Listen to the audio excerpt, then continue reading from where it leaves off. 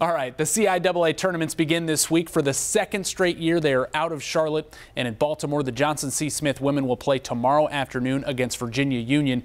What a year it's been for this team. Coach Stephen Joyner Jr. left a week in for an administrative position at West Charlotte, so interim coach Dante Travis, Travis, he had to take over, and he saw three players go out with ACL injuries. Definitely been a rocky year. You know, obviously coming into the situation, uh, you know, that I was brought into with being interim uh, mid mid season.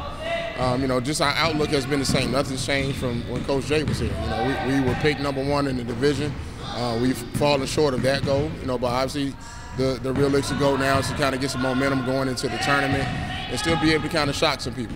It's been really difficult, but I've been able to, you know, stay the course uh, get in touch with the new coach and talk to him a little bit more, and we've been able to figure it out a little bit.